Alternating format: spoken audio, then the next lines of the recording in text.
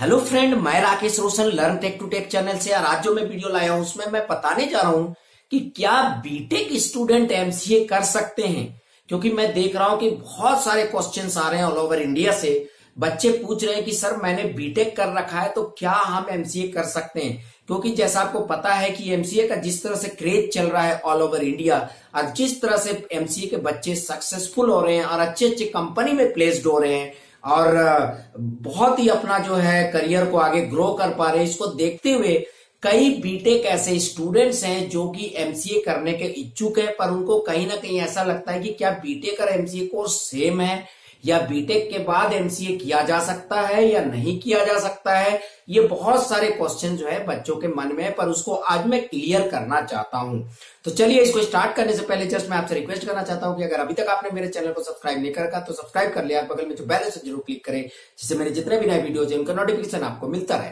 तो चलिए स्टार्ट करते हैं। मैं ये बता दूँ कि अगर आप बीटेक कर रहे हैं या बीटेक कर चुके हैं तो आप एमसीए बिल्कुल कर सकते हैं। पर यहाँ पर मैं कुछ अपना पर्सनल एडवाइस दूँगा।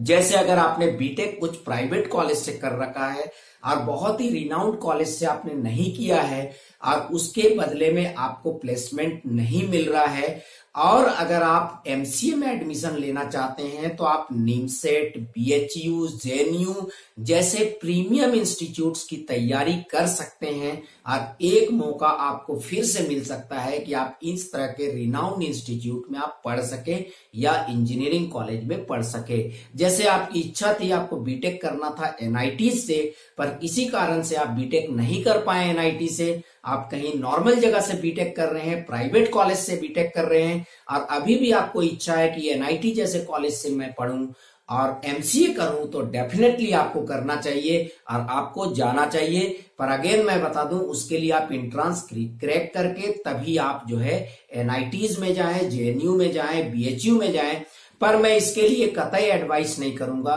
कि आपने बीटेक जो है प्राइवेट कॉलेज से किया है और फिर उसके बाद आप सोच रहे हो कि मैं एमसीए भी इसी तरह के कॉलेज से करूँ। तो ये मैं एडवाइस नहीं दूँगा। हाँ अगर कोई बहुत अच्छा प्राइवेट कॉलेज है और वहाँ आपको एमसीए के लिए चांस मिल रहा है तो आप जा सकते हैं, कर सकते हैं, जहाँ का आपको बिल्कुल कॉन्फिडेंस हो कि यहाँ से तो मुझे प्लेसमेंट मिल ही जाएगा। और बीटेक वाले को एमसीए करने से फ़ायदा ये होता है बीटेक में क्या होते हैं कि बहुत सारे फिजिक्स केमिस्ट्री में तारीख तक के बहुत सारे आप सब्जेक्ट्स पढ़ लेते हैं और बहुत सारे इंजीनियरिंग के भी सब्जेक्ट पढ़ लेते हैं। तो कहीं ना कहीं हो सकता है कि आपने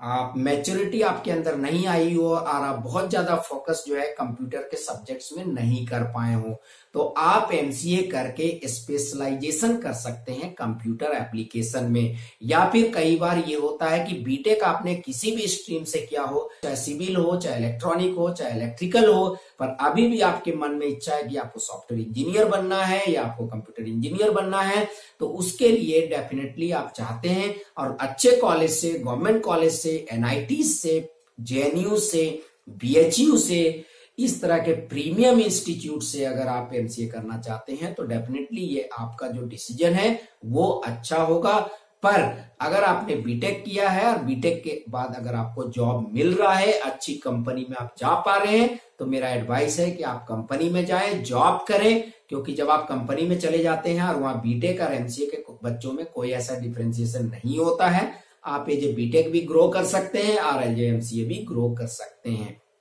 वहीं अगेन वही मेरा एडवाइस है कि अगर आपको बीटेक आपने नॉर्मल कॉलेज से किया है प्राइवेट कॉलेज से किया है, पर आपको एमसीए एनआईटीज या अच्छे गवर्नमेंट कॉलेज से करना है गवर्नमेंट यूनिवर्सिटीज से करना है तो आप डेफिनेटली सोच सकते हैं एमसीए करने के लिए। तो इसी कंडीशन पे आप बीटेक वाले स्टूडेंट एमसीए में जा सकते हैं। तो चलिए फ्रेंड ये मैं कंफ्यूजन क्लियर आपको कर रहा था कि बिल्कुल आप बीटेक किए हैं, बाकी आपकी मर्ज़ी, आपने अगर बीटेक कर रखा है तो 100 परसेंट आप एमसीए कर सकते हैं, क्योंकि एमसीए के एलिजिबिलिटी क्राइटेरिया में बीटेक भी आता है और बी भी आता है। तो चलिए फ्रेंड आई होप कि आपको वीडियो अच्छा लगा होगा। अच्छा लगा तो लाइक करें शेयर करें कमेंट करें, और अगर अभी तक आपने मेरे चैनल को सब्सक्राइब नहीं कर रखा तो सब्सक्राइब कर लिया और बगल में जो बेल ज़रूर क्लिक करें,